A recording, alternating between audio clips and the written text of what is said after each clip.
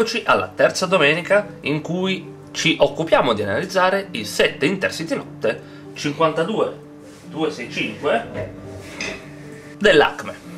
Questa è una carrozza di tipo cuccette Comfort, per la precisione una vettura cuccette della famiglia UIC X di tipo 1998R.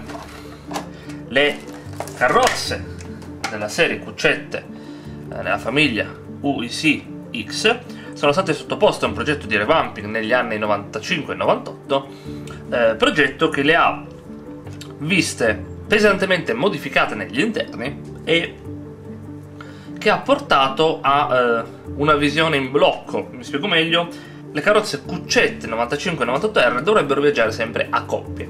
Questo perché eh, ufficialmente la vettura è divisa in 9 spazi, ma in una le cuccette sono 9, nell'altra le cuccette sono 8. In più c'è il compartimento del cuccettista.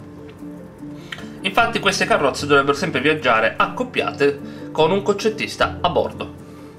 In questo video ci occupiamo di guardare entrambe le vetture, le vetture UIS X cuccette, le quali inoltre sono molto simili, quindi non vedo perché dover fare eh, un video per ognuna. Sarebbe molto riduttivo rischiando di risultare anche noioso. Nota di costume alle carrozze io ho rimosso la riproduzione del rec. Questo perché è un dettaglio che durante l'apertura può creare fastidio e rompersi. E eh, invece sul tracciato in una normale modalità di utilizzo questi dettagli non si vedono. Entrambe sono vetture tipo 1998 lo capiamo perché dal lato delle eh, cuccette. Mancano i finestrini sulle ritirate qua.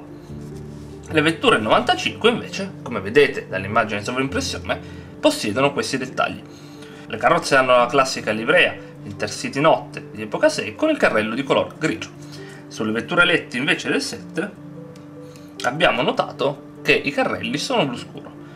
Mi correggo una ha i carrelli chiaro l'altro i compartimenti blu scuro o nero i modelli hanno correttamente le spie della lateralizzazione e il cavo TCN nella zona dell'intercomunicante.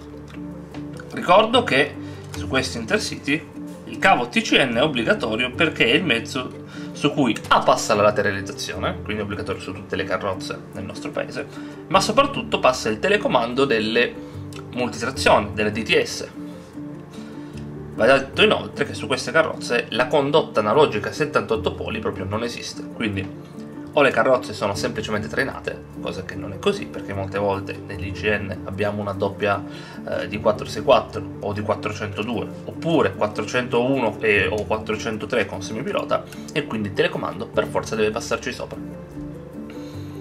Procediamo a una vista macro del modello partendo da quella con 9 cuccette.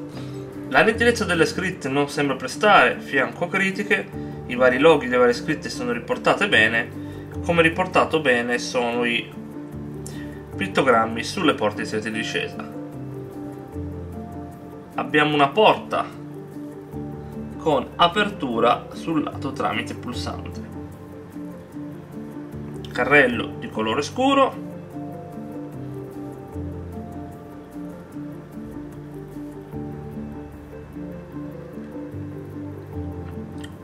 le scritte riportate. Abbiamo una vettura atta ai 200 km/h eh, e compatibile col servizio internazionale. Il pittogrammo del servizio offerto da questa vettura è la marcatura 6183 vettura da 200 km/h adibita al servizio internazionale. Come notiamo, nell'ultimo compartimento è presente la scaletta esattamente come sugli altri.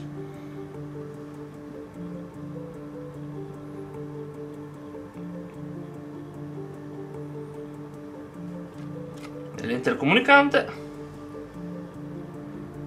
è visibile il cavo TCN a 18 poli, timone di allontanamento e respingenti molleggiati il rec maschio l'ho rimosso io, il rec femmina non è presente montato. Se lo si volesse è a cura del modellista. Qui siamo dal lato del corridoio.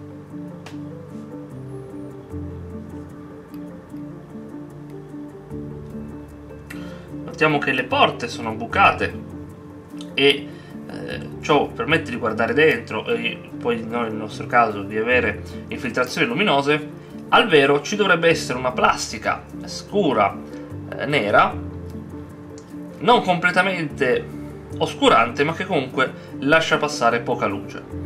Noi andremo a chiuderla in qualche modo.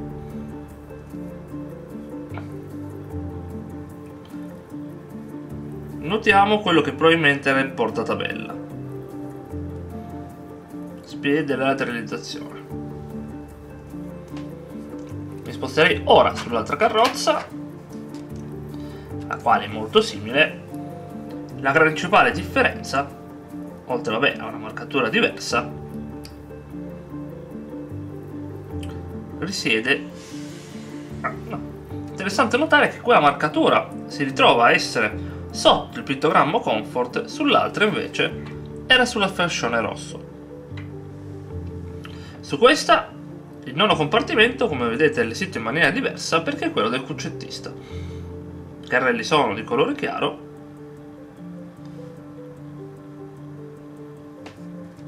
Anche qui spicca il TCN nell'intercomunicante, respingenti molleggiati, timone di allontanamento.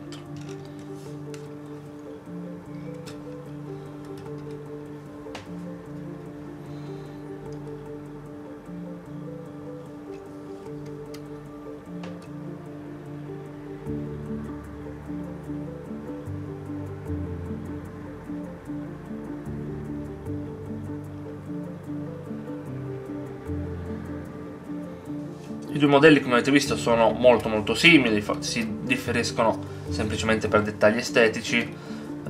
È vero, c'è il compartimento del cuccettista, ma da fuori è difficile da notare. L'apertura dei modelli su queste carrozze qui avviene come sulle altre cuccette Comfort, quindi andando ad allargare la cassa. Facciamo sempre attenzione, dopo aver visto il casino della T3S, che non ci siano adesivi, provando ad allargarla un po' prima, e poi allargando la cassa essa si sfilerà. Prestare attenzione che di norma ci sarà il rack montato, il rack si incasserà nel respingente e di conseguenza durante l'apertura il rischio di romperlo è elevato.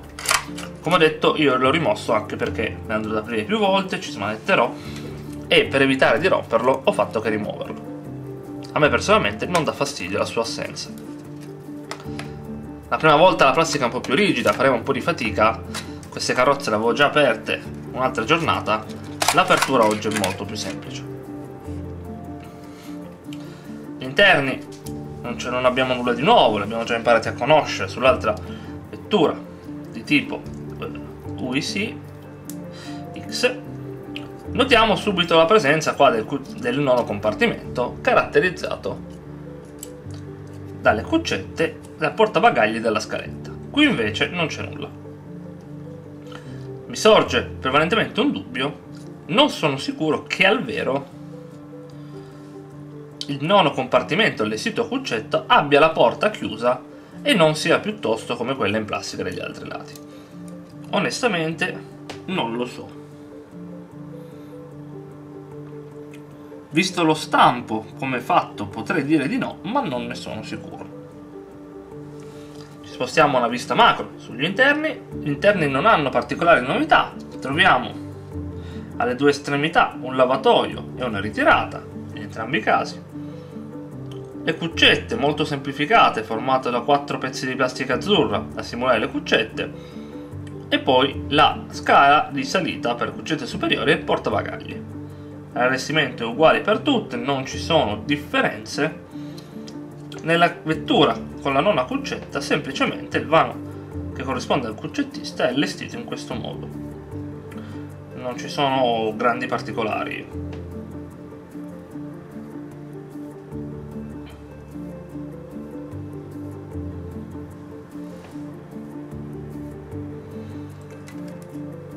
È possibile notare a volte nella cassa che ci sono dei residui di colla. Questi sono coloro che danno fastidio all'apertura del modello. Io direi che possiamo terminare la disamina di questi modelli in questo modo e non mi resta che dirci che ci vedremo fra due domeniche con l'illuminazione dell'intero set Le prossime domeniche, due, saranno dedicate alla presentazione delle schede luci che andranno a illuminare le vetture Mu e la vettura T3S. Le cuccette hanno già una scheda dedicata, l'avete già conosciuta un paio di anni fa mi sembra, e quindi fra tre domeniche ci occupiamo di illuminare tutto il set. Sarà un video veloce, poco parlato, nel quale tramite delle parti velocizzate vi farò vedere che il montaggio dell'illuminazione su queste, su queste carrozze non è nulla di complesso. Io vi ringrazio di avermi seguito in questa avventura in cui ci siamo occupati di analizzare questo set. Non mi resta che augurarvi una buona giornata e, e sperare di rivedervi tutti domenica prossima con la presentazione del progetto. Ciao a tutti e buona giornata!